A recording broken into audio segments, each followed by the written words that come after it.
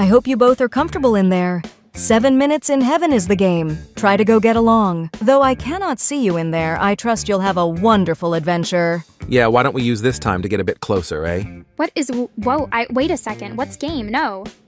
Too much. Eh, stop. The door. Open the door. Now, Pomni, where's your adventurous spirit?